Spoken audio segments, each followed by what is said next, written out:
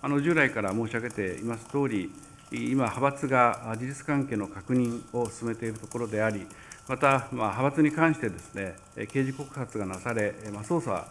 がされているとまあ報道もされているところでありますので、まあこれらの動きを注視しながら、私自身の政治資金の問題に関してもですね、まあ精査をして、適切に対応してまいりたいと考えております。